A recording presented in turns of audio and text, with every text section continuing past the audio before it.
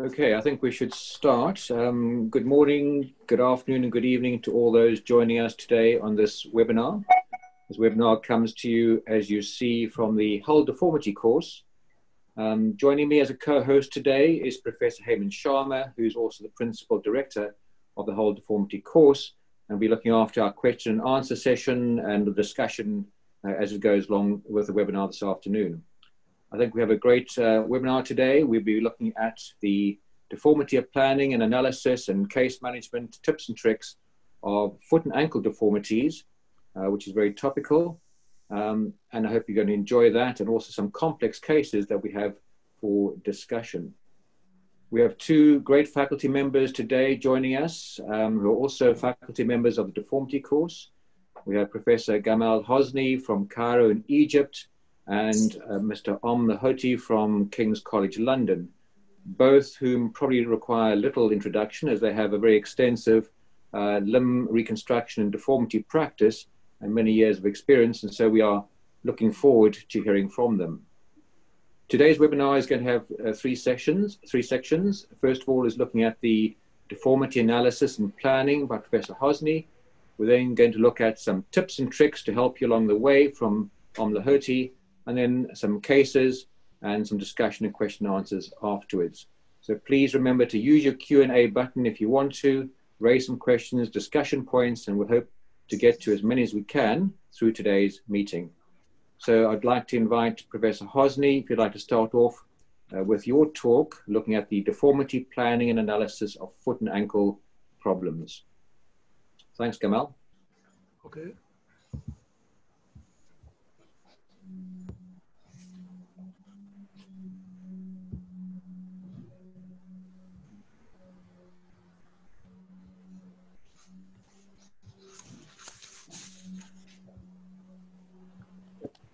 Good afternoon, everybody.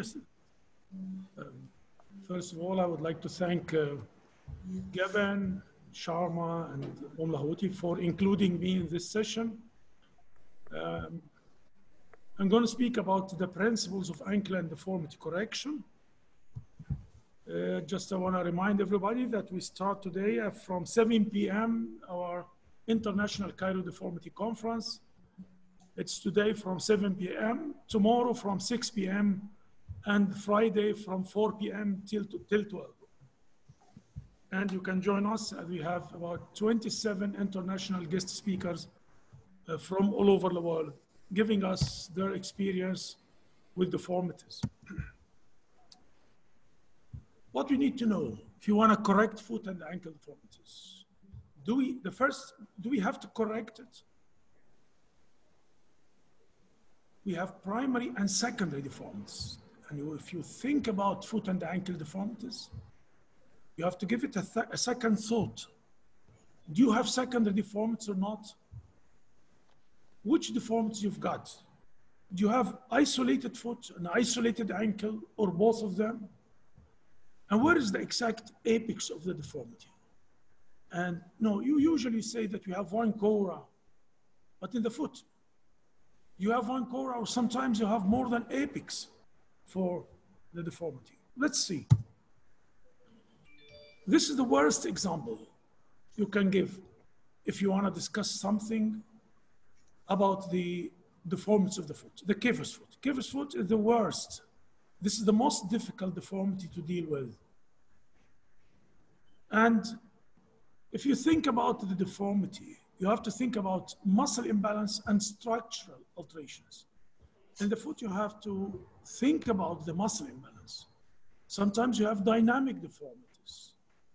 So the deformity, you can see the deformity while the patient is walking. But during rest, you can, you can see nothing.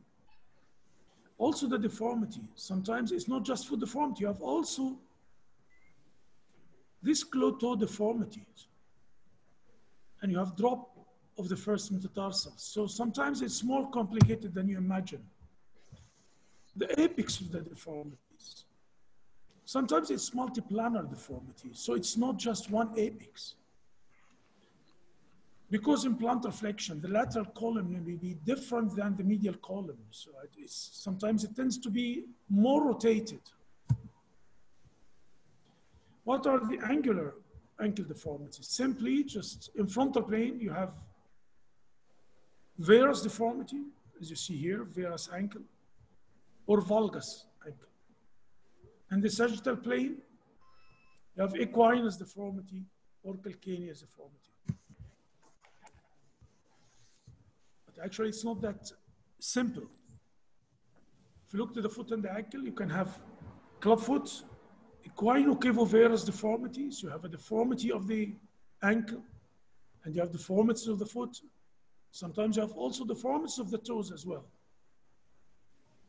And this is pes planovalgus. You see, you have a deformity of the ankle again, and you have a deformity of the foot, and you have a deformity of the toe. You see the big toe, hallux valgus. Also, it's pronated, as you see here. When you analyze the deformities of the foot and the ankle, and you want to draw the axis, you have to draw the mid-diaphyseal line of the tibia, as you see here. So see, this is the lateral X-ray. If you imagine this is the lateral X-ray, and you draw central lines to the shaft, and this is the mid-diaphyseal line. Another line between the anterior and posterior lower ends of the tibia, and you have anterior distal tibial angle, the anatomic anterior distal tibial angle. It's about 80 degrees. And the center of rotation is at the lateral process of the talus. This is the talus, and this is the lateral process. And usually this mid-diaphyseal line passes through the lateral process of the talus. For the radiological assessment, you have too many lines to draw sometimes. It depends upon which lesion you've got. But you see, this is plain lateral X-ray. Usually we will do it standing X-ray and AP. And you have many lines and many angles if you want to. In lateral, you can draw the axis of the talus and the mid first metatarsal axis, as you see here. And the calcaneum pitch from this line to that line. So sometimes you need to draw many lines depending upon the type of lesion you're dealing with. In general, some people just do plain, uh, plain X-ray, AP and lateral, but this is not enough. You need again the long film, AP and lateral, because sometimes you have secondary deformities. And perhaps you have another deformity on the other side, which uh, you have to put it in mind before correction of the deformity. And this patient came to me with all poliomyelitis of the left side. And when you draw the, and you have the long-standing X-ray, and you have varus deformity of the other side. You have to put it in mind before correcting the equino cavovarus of the left side. See, and you can see here, this is the calcaneal you see the calcaneus here and the talus, the varus position, you see, in the standing X-ray. We start with the most common deformity, the equinus deformity. Plantar flexion deformity of the ankle is a very common deformity that can develop in many or several congenital and acquired conditions acquired in pediatric orthopedic patients. And you see in these diagrams, this is an equinus deformity, as you see here. But where is the apex of the deformity? The apex of the deformity lies in the distal tibia. Again, this is an equinus deformity, but the lesion or the deformity lies in the joint itself. You see here. And another equinus deformity, and you have a forefoot equinus. You see here the picture. You have a forefoot equinus. And do we need to release the soft tissues here? So you have an equinus deformity, but you have to analyze where, uh, where is the center of the deformity. So where is the site of the deformity if you have an equinus? Distal tibia, hind foot or forefoot.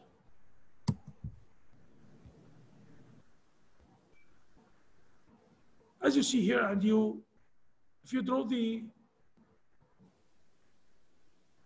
mid-diaphyseal axis and the axis of the distal tibia, the anterior distal tibial angle is 110. So this is the site of the, of the lesion. Again, an example. When you draw the mid-diaphyseal line and the distal line or the joint orientation line, the angle, anterior distal tibial angle is 80. So we don't have a problem with the distal tibia. The problem is here. You have a flat top talus.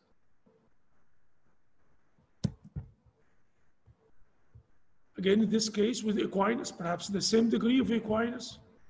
Again, the mid-diaphyseal line and the joint orientation line, making anterior distal tibial angle of 80, which is quite normal. And we have a problem with the forefoot because you have cavus deformity. Do we have desirable equinus deformity? If you have a weak quadriceps, if you have uh, a mild equinus deformity, this will help the patient to walk normally. So it's perhaps you have a desirable deformity. And if you have a quadriceps, which is zero quadriceps, and you correct the equinus deformity, perhaps you are going to change the gait of the patient towards situation. And this is calcaneus deformity, which is usually seen in association with congenital posteromedial bowing of the tibia.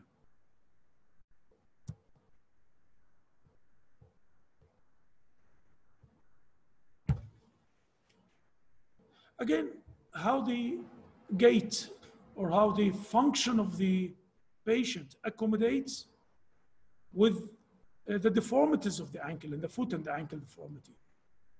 And this is an important equation because varus and valgus deformities are normally compensated by the ankle, by the subtalar joint. So if you have a normal subtalar, perhaps you have a compensatory movement. So the patient can walk nearly normally in spite of having varus or valgus deformities. So one needs to differentiate between ankle valgus, hind foot valgus. It's imperative to impair, to obtain a standing AP radiograph of the ankle when evaluating the foot problems. So if you have a valgus or varus foot, you need again to have an ankle view. And this is standing view of the ankle to see the valgus deformity. Again, if you have a valgus ankle, you need to know, do you have a valgus subtalar joint? Because sometimes you have both. If you have syringomyelocele, uh, uh, meningomyelocele, many times you have an, a valgus deformity of the ankle and foot, both. And if you want to correct, you have to correct both deformities at the same time. So in this case, if you want to do AP of the foot, 30 degrees ankle equinus, 30, 30 cranially this tilted tube to see high talocalcanean angle. You see that talocalcanean angle, you have high talocalcanean angle. So you have a valgus foot. If you have valgus deformity of the hind foot,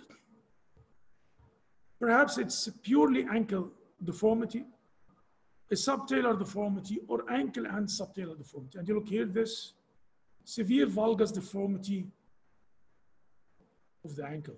So don't be optimistic. If you see a valgus ankle and you just correct the valgus ankle. Because perhaps you have subtalar valgus deformity, which need to be corrected. Again, take care of the fibular shortening. An abnormal shortening of the fibula can lead to a valgus deformity of the ankle joint, which is a common finding in a paralytic ankle. You see here, this is shortening of the fibula you have. The fibula should be about 11 millimeters below the medial malleus. So in many cases, with paralytic problems or sometimes with fibular hemimelia, you can do fibular lengthening to correct the valgus ankle deformity. You see the fibular lengthening here to restore the normal ankle alignments. So you have to put in mind all these considerations. This is the long talk about the compensatory mechanisms. The ankle joint can compensate more recurvatum than procurvatum. And recurvatum of the distal tibia is better tolerated than procurvatum. Why? Because the normal, the normal subtalar range of motion is 30 degrees inversion and 15 degrees inversion. Therefore, the arm of the the amount of ankle angulation that can be compensated by the hind foot is 30 degrees valgus and 15 degrees varus when the normal subtalar joint is present.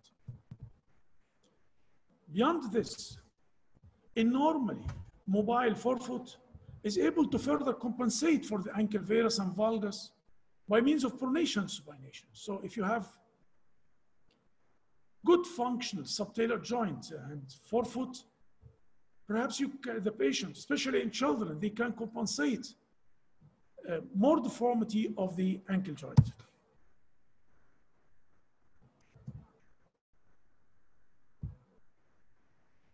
Also have a normal hip, knee, and ankle, subtalar, and forefoot joints. There's more possibility to compensate for the ankle and foot deformities.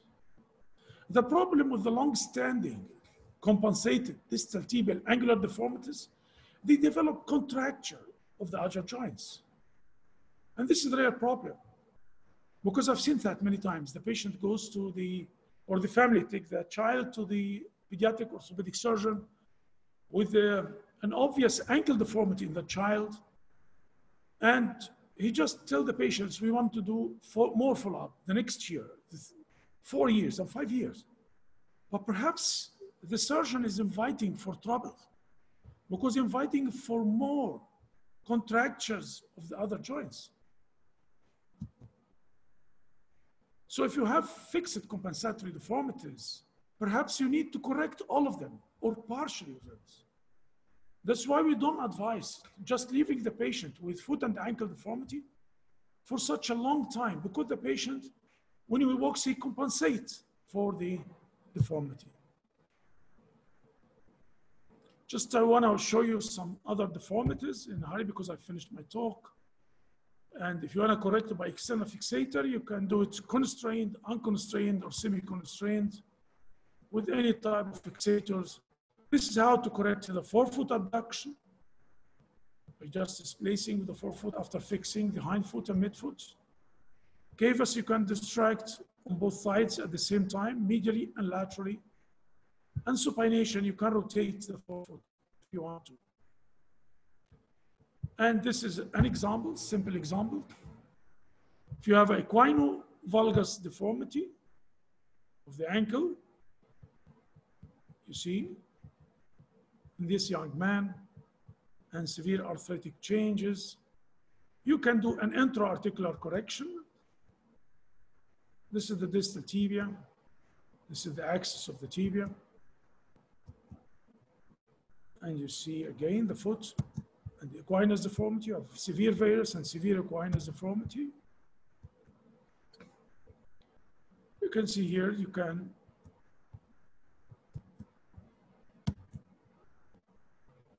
by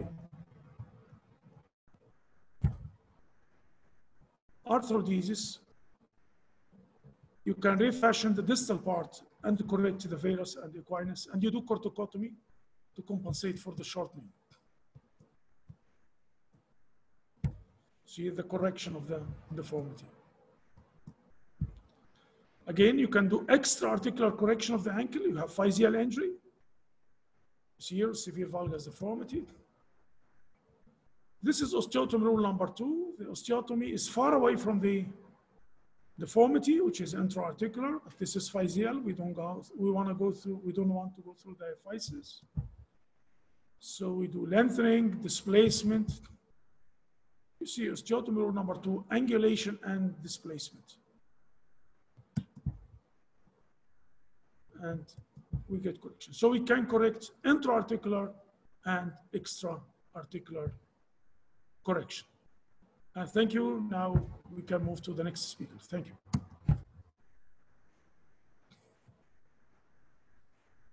Gamal, thank you so much. Uh, uh, some questions will come on. I just wanted to uh, quickly ask you this uh, frames are not always very comfortable for patients. So some surgeons use part internal, part external fixation. Now, in, in, in, in pediatrics, that's probably much harder because of the physis. Uh, the physis are open. In adult, are you are you a believer in part internal, part external, or completely external fixation for the deformity corrections of foot and ankle? Um, it depends upon the, the type of the deformity. Uh, most of the cases referred to me are severe types of the deformity. So I prefer the gradual treatment because many times, why the gradual treatment to external fixation? Because of the, many times after all these years with deformities, I have miscalculation of the deformity. So when I make my, the X-ray uh, immediately post-operative, perhaps uh, three days after the operation or something, I found out that my calculations were not right.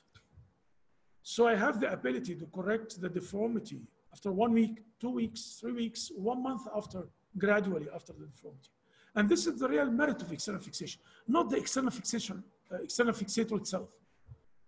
The real merit of external fixation is the ability to correct the deformity post-operative in your clinic, in the outpatient clinic, without anesthesia, without uh, uh, analgesia even. So if you have a simple deformity and you are sure that you will correct it at the operation, and I'm not the type of surgeon because you know I'm a simple-minded and I don't have that experience. I'm not always sure that I'm going to correct the patient fully during the operation. But if you are that confident, why to use an external fixator? No. I know that many foot and ankle surgeons, they, do, they, they don't use an external fixator because they are very confident. That's it. Okay. Thank you. So, we, so we'll go back to the questions toward the end as well. So yeah. Okay.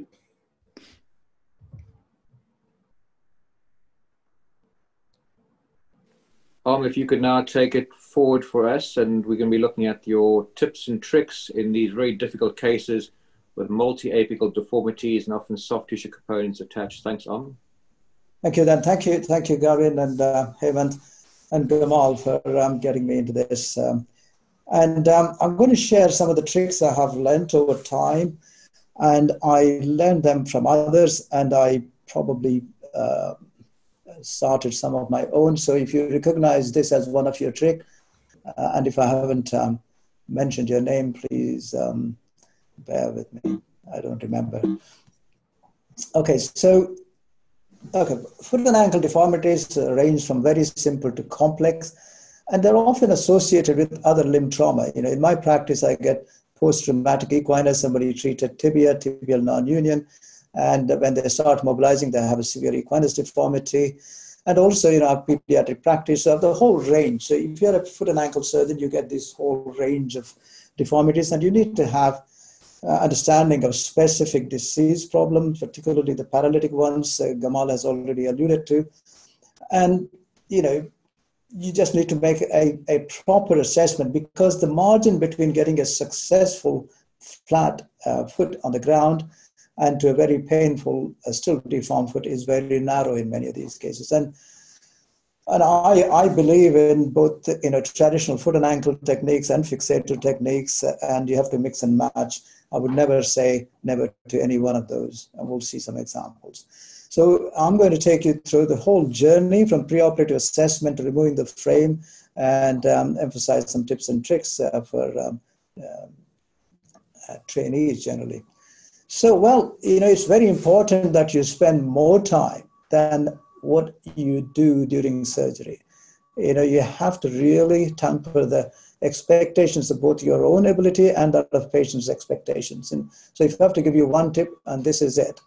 Um, so, yes, have several examples and show them how they're done. And but again, say that you know that's an example, but I cannot always guarantee that.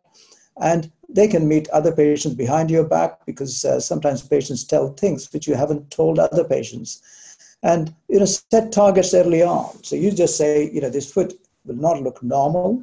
You won't be able to wear high heels or fashionable shoes, but it'll be functional. Now you're walking on the tip of the foot, but I'll make it um, so that you can walk on the entire foot. So that is very important. And then looks are also important. You know, sometimes you do a good job and they still, uh, the foot looks chubby, they're not happy. So all these expectations you just discuss. And particularly if you have a multicultural practice like we have in London, uh, respect cultures. You know, never utter the word amputation with anyone coming from Middle East or, or Far East. Um, they will either complain or will never come to your clinic again. Okay, so I can't emphasize the importance of thorough examination. Uh, X-rays or any other thing will not uh, is not a, an alternative. Uh, you could draw all sorts of angles uh, on the X-rays, but a thorough clinical examination is more important, particularly looking at scars and a source of pain. Some patients have a very painful neuroma, and that's what is causing most of the problem. You might end up getting a very good uh, plantigrade foot, but the scar is painful and causing trouble. And then, you know, I have a policy of working out which is flexible and which is resist deformity and the degrees and direction. The degree, if it is minimal, then I would be tempted to do an acute correction and internally fix, as Hemant was asking about. And uh, others I gradually correct. And the ones I can't assess, I tend to err on correcting gradually, like Gamal mentioned.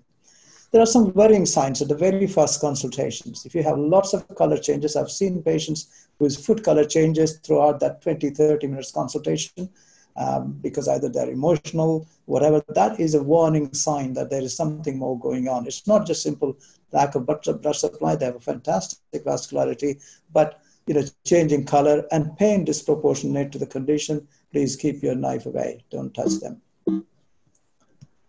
So here is a patient who started with a normal looking foot, a young lady in her teens, had a simple incident at school and it started this spiral chronic pain syndrome and the foot deformed like this.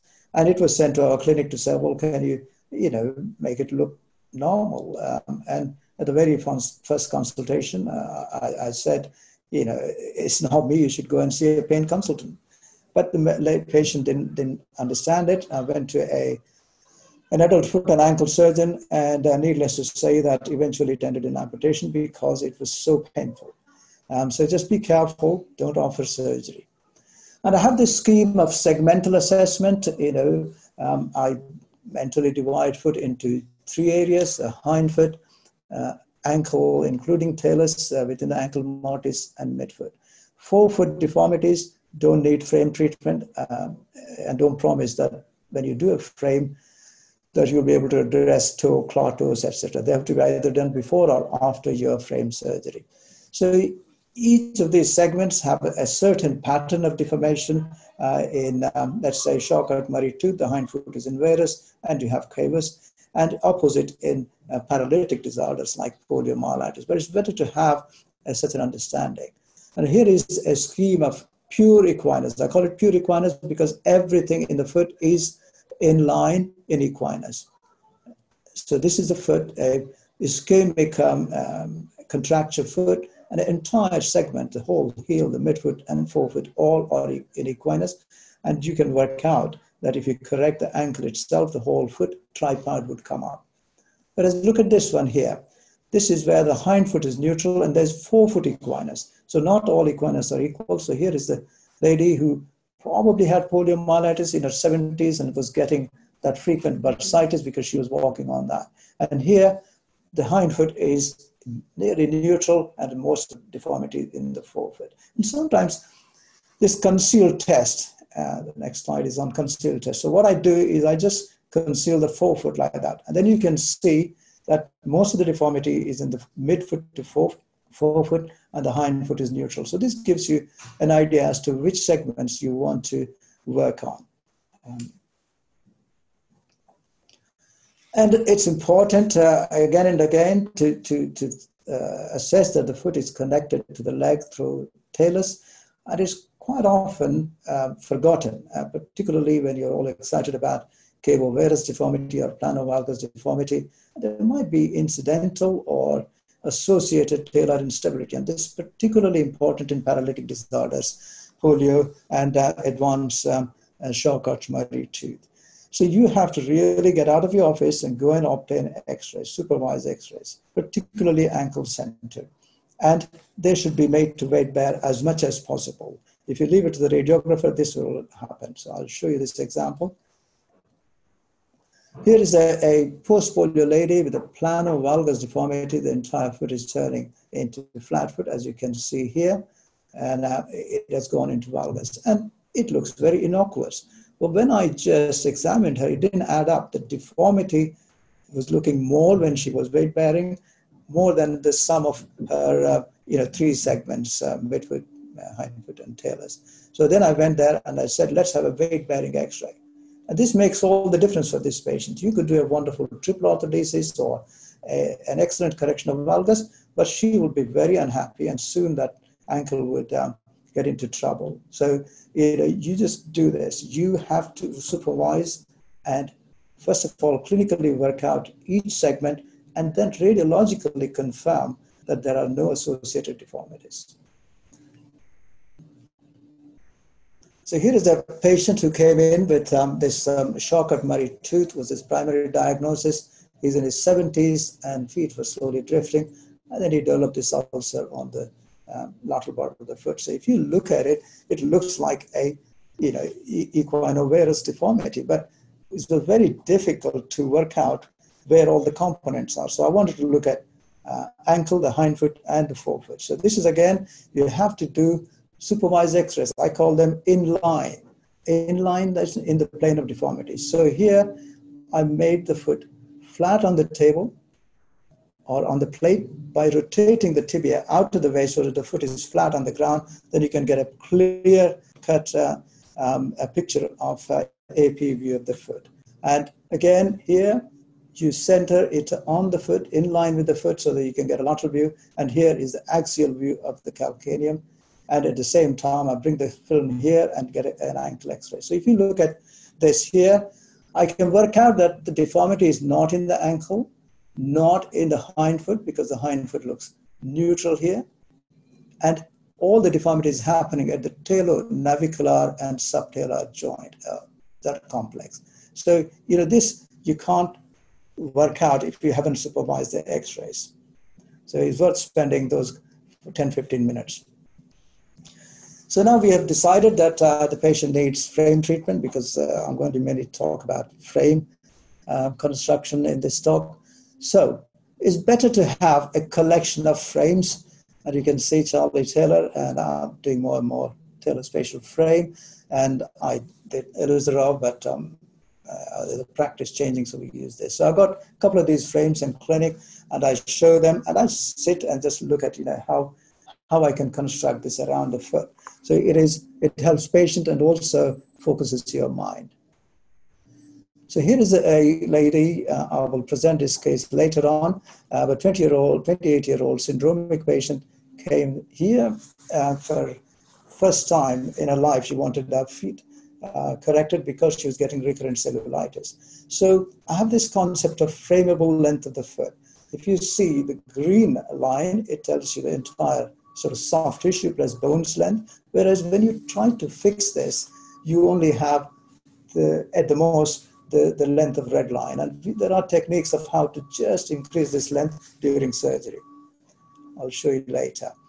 And there are this concept of hidden deformities. We all um, know that there, there can be compensatory deformities, but I tell patients that there's some deformities come to the fore as they start correcting the deformity. They might not be that obvious. This is particularly important when uh, you know you are doing supramalleolar correction or correction of forefoot, and the you know basically equinus of the foot becomes more obvious as the as the deformity is corrected, and the toes may go into into flexion deformities. I used to routinely divide uh, flexor tendons, but I've seen some patients who are very unhappy and the toe was so floppy. So I just don't do it prophylactic anymore. I do it um, um, um, if they develop. And of course, think about neurological issues and do a tarsal tunnel release when necessary. So here is a, a osteochondromatosis. Uh, this is a part of the long leg picture, distal tibial valgus, and the foot was drifting into valgus. He didn't have any compensatory movement there. Everything was tight at the back to tendon Achilles. So I started correcting him.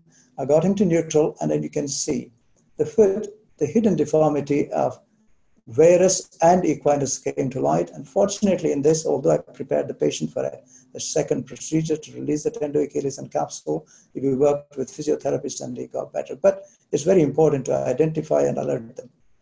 And you know, this is very well known in the business that the toes go into flexion. And as I said, I, I tend not to do them prophylactically. Um, and I do them at the time of removal of frame. So intraoperative tricks. Um, you know, the common deformity I treat is a, an equinus deformity. And I have learned a couple of things while putting the foot frame. It has to be clutter free so that the patient can weight bear. It's not so much about weight bearing, but it confirms to the patient that we have achieved plantigrade foot. And you know that, that's much more helpful than any number of x-rays you do. So I don't rely on x-rays that much except worrying about ankle subluxation. Uh, but also when you get the plantigrade foot, patient um, suddenly says, after all these years, I'm able to feel my heel on the ground. So that also helps. So plan your foot frame or foot plate in, a, in such a way that you clear the plantar surface by at least two finger breadths.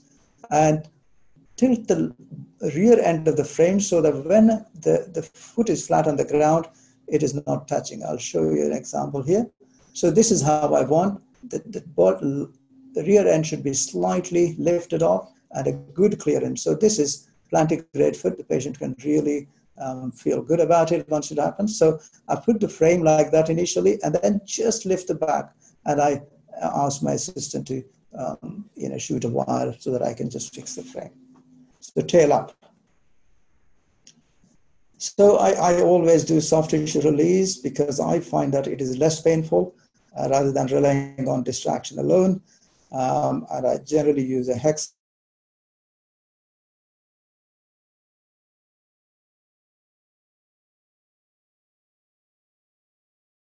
the tail calculate uh, the Inman line for a hexapod construction. And since I started um, using this, I've done half a dozen frames using this technique, the talar dome stays very well under the tibia and um, haven't seen any um, adverse effects of doing this. And of course, always overcorrect the deformity once you've reached the plantigrade, uh, overcorrect the deformity, they don't walk after that, and then after four weeks, I remove the frame. So there's another trick when you're doing a difficult calcaneal osteotomy, when everything is adherent medially from previous surgery. I put a drill hole, a couple of drill holes at different levels of calcaneum, measure the depth, and I mark my osteotome with a pen, in a marker pen, so that I don't suddenly plunge and go on to the medial side. So that helps, you know, how much to go, because you've measured the depth beforehand. And sometimes the, the frames can get very busy, both in hexapod and in Ilizarov frame. You can't see bone from the metalwork. So if there's a critical area which I want to monitor, I put these markers. These are simple K-wires. They're left buried in the bone for good, but they can, you know, I can I can spot them amongst the jungle. Um, so that that helps, and you can try this out. So when you're doing these midfoot osteotomies, it is not as simple as drawing lines on X-ray. They are in a different plane, and it's better to feel your way with two K-wires. I just say create a K-wire corridor. It's a well-known technique. I use the osteotome um, and, and just follow parallel to it. Um, and also, you can use uh, this for Gigli saw. You can follow a K-wire and then I make sure that I open the osteotomy to make sure that it's all running okay.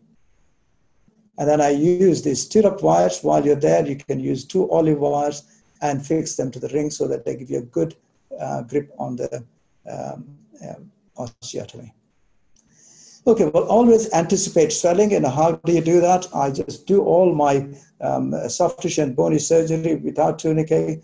I release the tourniquet, put pressure bandage. And that gives me an idea as to how swollen the foot is likely to be. I put two bulky swabs and put it.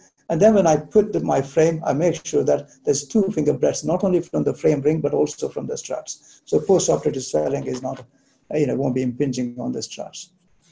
And sometimes the rings conflict, um, like here, you know, I didn't anticipate as I was coming up, I couldn't go any further. And since then, I just do this. Um, I use a U ring or a, a, you know foot ring here and keep this open like Tower of, Tower of London Bridge, and then you can keep going as much as you as you want without compromising the stability. So, well, you know, internal fixation, Hemant asked this, you know, I always err on hind foot. If this is a, a, a small deformity in the hind foot like varus, I'm happy to correct through calcaneal osteotomy and fix it.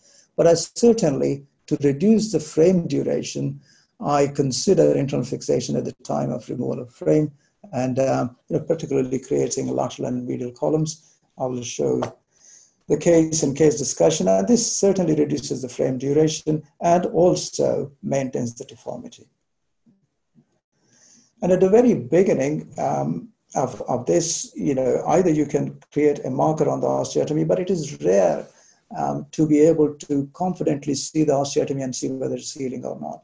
I just look at the shape of the foot. Generally, midfoot osteotomy is healed between 6 to 18 weeks. And if I'm really concerned about it, particularly in diabetic feet, I get a CT scan. Otherwise, I just look at the shape, duration of time, and then I remove the frame and protect the foot, either with internal fixation or a brace. So take-home messages are uh, careful pre-op consultation and assessment is important. Uh, it's important to spend as much time um, with the patient as you would do uh, doing a very meticulous and complex surgery and talk about a whole range of things that you might come across some hidden deformities which might need surgery or which might respond to physio. And more importantly, just say that sometimes, particularly in paralytic deformities, you will need a splint forever. Uh, and they're a bit surprised that after all this treatment, they have to still have to have a AFO because there's no muscle power.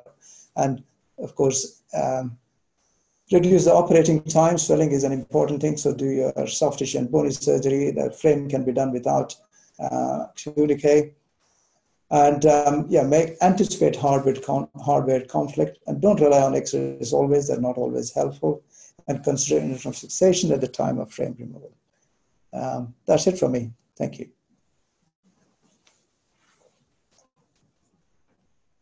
Thank, thank you very much, Om.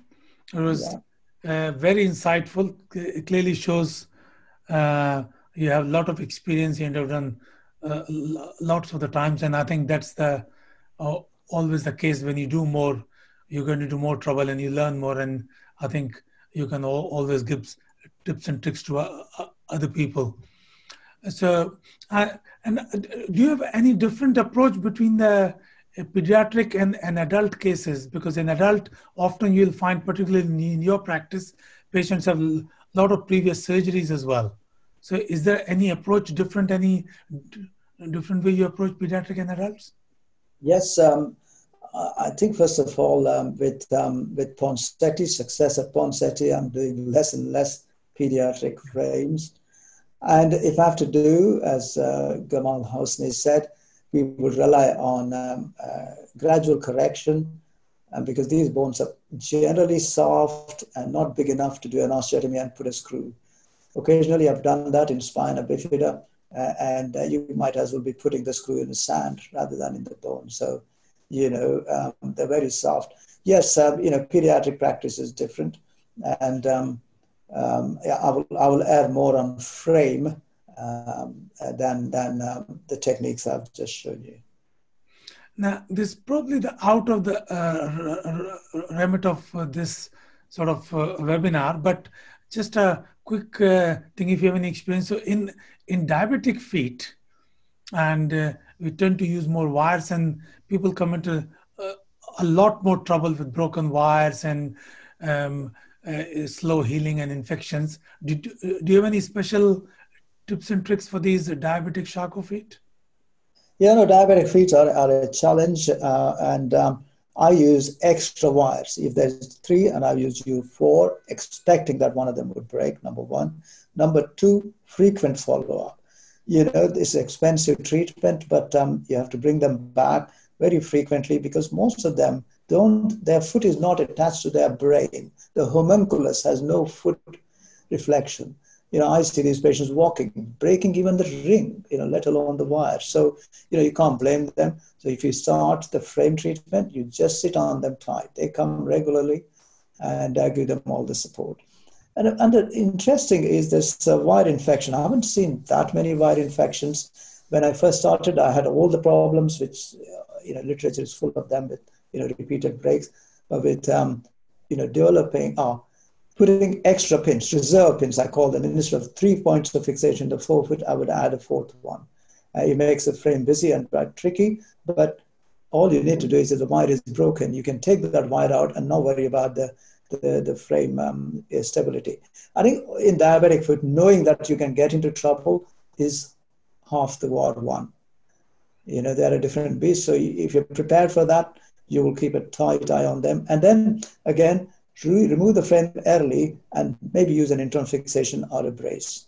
And, uh, you know, in diabetic, again, you don't wait for the bony fusion all the time. There's good evidence that a sound fibrous fusion is good enough to keep the feet stable. But that's a different argument altogether. Now, there's a question from Alex uh, Cherkashin, and he's asking if uh, what is um, what's your opinion about the transfixing the toes during the foot deformity correction to avoid clawing of the toes? Now that, that, that's, that's a great question, and uh, I have moved away from it simply because, you know, these wires very difficult to get in bone. They sometimes end up in soft tissues. They're long and they're causing more grief than any good. And I had patients whose toes were so hyperextended at the end of the treatment, there was no flexor left. You know, that's that's can be unpleasant. So I, I tell them that either we can do this or you wait you know, some of them while waiting, while the treatment is going on, physiotherapy, stretching, and we have used loops. And um, we got away at least 50% of the times without doing flexor tenotomy. Nice. So, yeah, I'm not proactive. I've gone away from proactive to, to as and when needed. Maybe I'll come back for circle and um, I'll start doing it. But I think I'm a bit more happier, not being aggressive with, um, you know, taking your knife to to flexor uh, tendons. You know, there might be another approach that you don't uh, do flexor tendons, fix them straight with K wires. Probably that's an option. Uh, I haven't tried that. I mean, I'm sure Alex is asking about why not just fix them in straight, anticipating that they will go into flexion without doing flexor tenotomy. If that is the question, then I don't have any experience of that. Right. I think we'll have to move to cases, Gavin. Yes, um, I think we'll try we'll come back some questions afterwards if we have some time, um, because there are some number of uh, ideas that we'd like to discuss. But let's go on to um, some cases. Um, Gamal, perhaps you'd like to start with a case? Yes.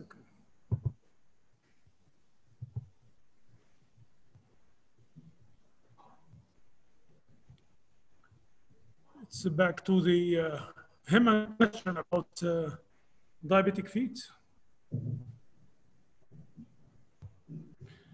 This is 60 years old female with uncontrolled diabetes. She had a mild trauma two years ago. She's overweight.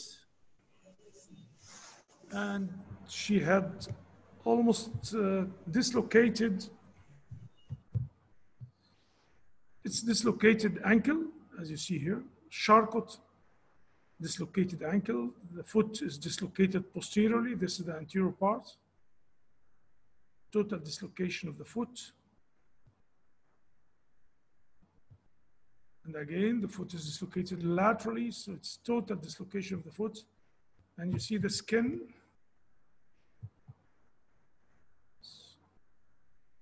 Questionable vascularity, as you see here.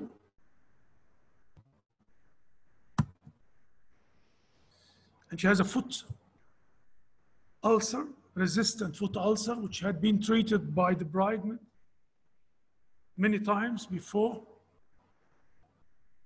And she uses the color of the foot. You know, I'm asked to uh, watch the color of the foot before the operation. You see this cyanotic foot. Uh, many people, I don't know, from the general surgeons, they think that uh, if you have a Charcot foot or Charcot uh, ankle, uh, that means most probably you have a, a, vascular problem. in my experience, which is very limited, this is not true. Almost always there is no problem with the vascularity. It's just peripheral problems, but vasculature is okay. So such a patient, again, remember that we drew the mid-diaphyseal angle and the joint orientation line. And we wanted this line to pass through the center of ro rotation of the, of the talus. We are planning to do an arthrodesis and to correct the foot. The patient was planned for uh, amputation.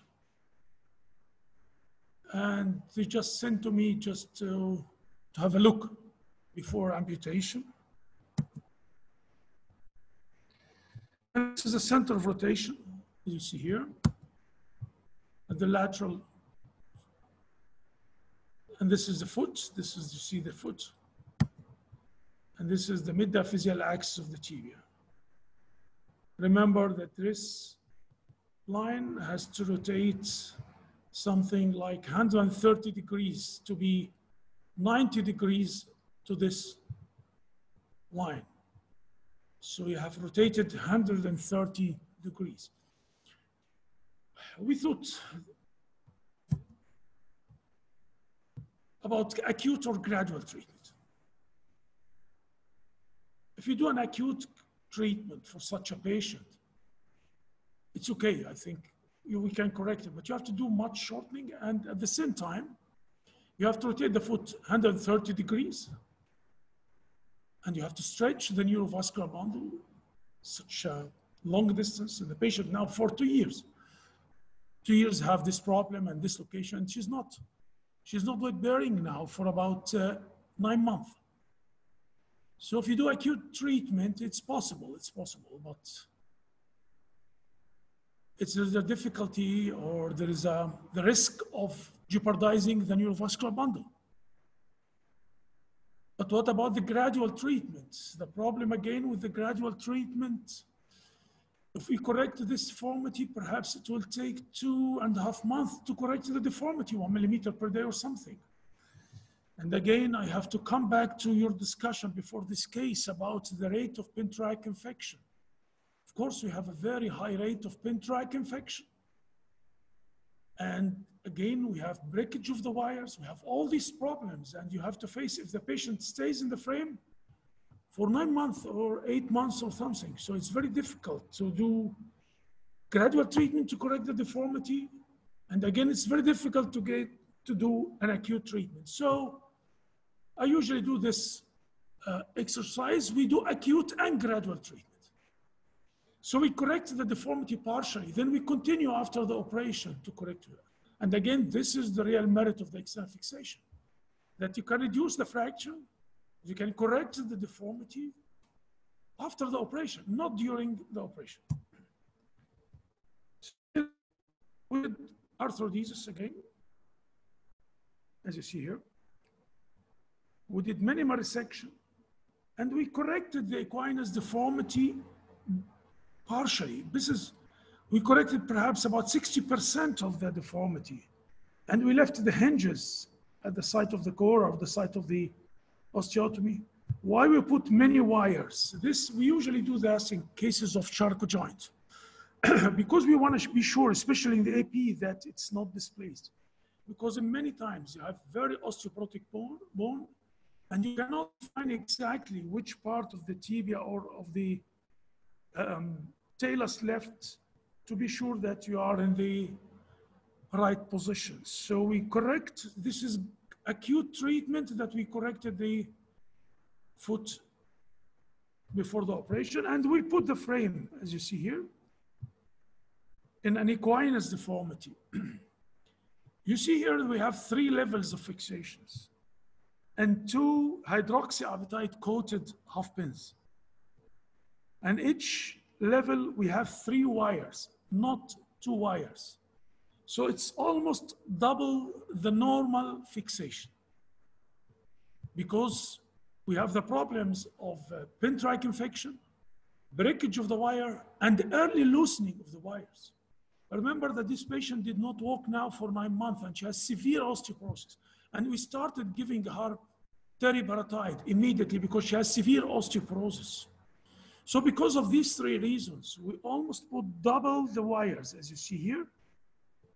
See the number of wires in the calcaneus and number of wires here. You see how many wires? three wires in the forefoot, not one wire, three wires. Again, this is the acute correction part, and we put wires. Sometimes people think that if you put wires, you will prevent uh, further correction, but this is not true because we use uh, two millimeter wires and they bend a lot when you do the gradual correction with no harm. So this is now after immediate postoperative. This is the foot, and this is, so still have maybe 60 degrees more of equinus. Now we do gradual correction using the hinges. Gradual correction. See the gradual correction that we have. Of course, we removed part of the fibula because this is transfibular. And you see the gradual correction of the wires, of the, uh, of the foot. Again, we checked with the AP and lateral to be sure that we are on the right track. And this is at the end of the correction. Again, because of the problem of loosening, we used many, the patient is huge. She's really fat. So you see the links here. It's not, it's not two hinges and distract or something. You see how many links we have? One, two, three, four, five, six, seven. Perhaps there's another one, an eighth one on the other side. And you have three levels of fixation. And you have three wires each level, two hydroxyapatite coated half pins. And this is after removal. You see it's about 90 degrees.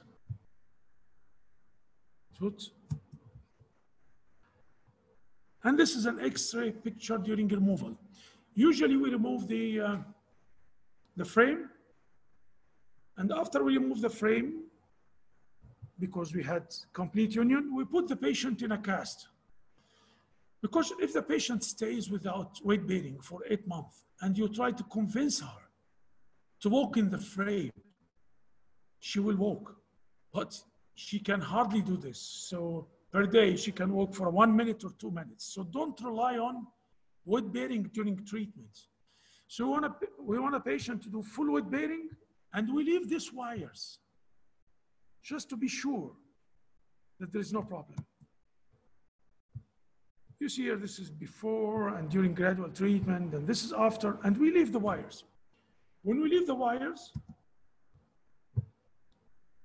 just remind you, with the position now. When we remove, we don't remove the wires, we put a cast, in, I will show you how we put the cast. This is the cast we use. We, leave the, the, we leave the wires and we put high heels and the high forefoot, about three centimeters. So when the patient walks, she does not do it bearing on the wires, just on the forefoot and the hind foot.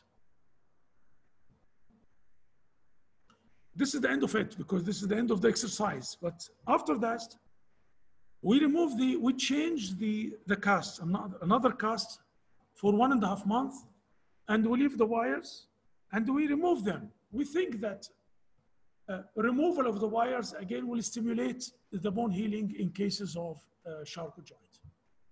And this is the end of this simple case. Okay. Great case, uh, Gamal. Thanks very much. I mean, uh, lots uh, you've said there. Um, I wonder if we can just discuss. Can we go into the next case, um, Om, or would, uh, yeah. No, whatever. If you have time, I can I can present. I can just quickly go through that. Or if you, if just, you think, yeah, um, just maybe foreshorten it, it'd be, I think you've got a good case to go through, and I think it'd be nice to see another case. So if you could just quickly present, that'd be great. Okay, so here we are. This is a case of a uh, 20, 28 year old, I think, yeah. Um, uh, Apert syndrome, um, subluxing hip, bilateral CTEV. She never had any treatment uh, for cultural reasons but the problem um, she started facing was that she was getting admitted to hospital for recurrent cellulitis because she would walk on the outer border and just wanted foot uh, corrections.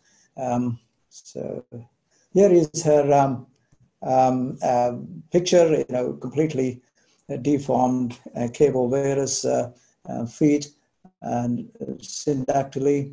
And these are the sort of mm, areas where she was developing cellulitis. And they were all stiff deformities, um, very little give um, in um, uh, any of the areas, both you know, hindfoot, midfoot, and um, um, forefoot. So what she does is she's high BMI and she has an attendant to help with activities of daily living. Uh, she's able to do, but she's not keen to do. So uh, my consultation was to say, okay, we can get you, um, you know, feet flat on the ground. They might not look very pretty, um, but uh, at least you should not have these recurrent cellulitis. You'll have to wear custom-made shoes because the foot will look broad and, you know, sort of square shape. Uh, wouldn't have the usual sort of arches, etc. And uh, midfoot and hindfoot would usually be stiff. Um, and I also discussed the complications um, of uh, all the pin site infections and under overcorrection and all that. Okay, so this is the X-ray. Um, you know, I had to go and do this X-ray in line. So if you let them uh, do the X-rays they want as while standing, and they're just not in line, but as soon as you do the, the foot focus line, you can see the entire um, sort of um, skeleton. Um, so my surgical plan was to do some soft tissue release at the ankle, do a tendo Achilles lengthening, and also in the rear, uh, hind foot, I wanted to do, you know, as a correction through subtalar joint. I was expecting neurological problems in view of severe deformity, so added tarsal tunnel release, and the working length of this foot was very short, as I um, uh, showed you in the tips and tricks talk. And I'll show you how I get around it. And I was going to use a butt frame, gradual correction of forefoot, acute correction of hindfoot, and I was going to consider um, um, internal fixation at the end of full correction of the foot. So this is my tarsal tunnel release. And at the same time, I just sectioned the incision towards the back and tendoachilles lengthening and capsulotomy. And this is my lateral approach. So I corrected, uh, um, you know, you can see the height of the calcaneum. I brought it out and then held it with uh, K-wires and then I replaced it with uh, um, screws. And then I did an osteotomy in the midfoot. Um, and then this is um, the, the problem of working length uh, because you know your, your fixation would be here and another one here, and you will really struggle to put any short, even the short, extra short stretch. Even in Ilizarov days, you know, it is it is a struggle for parents or a carer to get into that space and turn the screws. So what I do is take the slack up. So let me just run this. So I did posterior release. I've done the midfoot osteotomy. Tourniquet is off. And I take the slack up when I'm fitting the fixations and putting the frame. So I'll just show you this little bit animation. Yeah, that is by taking the slack off after doing a bit of midfoot osteotomy, as Gamal said. You know, he reduced, partially reduced the equinus, I partially reduced the, the forefoot adduction and uh, ankle to get space for my uh, struts.